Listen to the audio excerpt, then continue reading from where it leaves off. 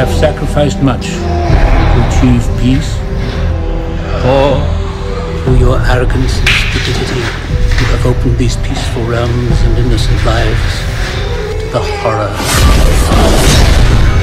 and devastation of war.